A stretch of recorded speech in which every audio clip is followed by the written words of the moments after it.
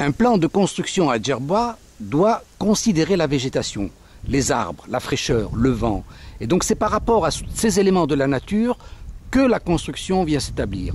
On peut soit faire un garage ouvert, soit on peut faire une sorte de terrasse euh, euh, qui permet un salon en plein air. Et donc c'est extrêmement frais. Au lieu de s'enfermer dans un appartement ou dans une maison grande avec climatisation, la construction à Djerba doit jouer avec l'air parce que c'est un pays où il fait très chaud et donc l'air est précieux et il est utile parce que c'est un air qui tourne ici euh, dans l'île.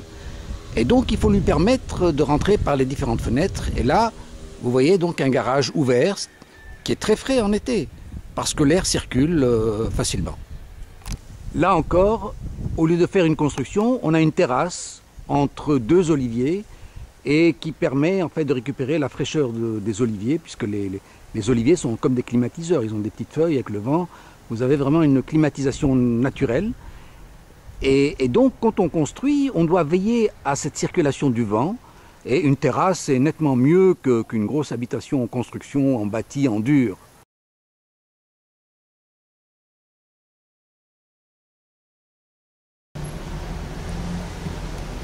Alors ça, c'est un bâtiment qui a été étudié en bonne relation avec les vents.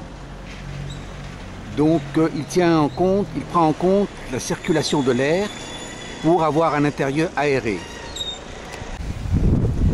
Et donc là, c'est un bâtiment qui prend en compte la circulation de l'air. Et donc c'est très important. Et c'est un facteur utile à Djerba puisque les vents tournent et donc ça permet de, rafraîchir un intérieur euh, sans faire appel à la climatisation, mais une climatisation naturelle. Et donc l'air passe par l'intermédiaire de ces voûtes donc il y a une circulation de l'air qui permet donc une climatisation naturelle.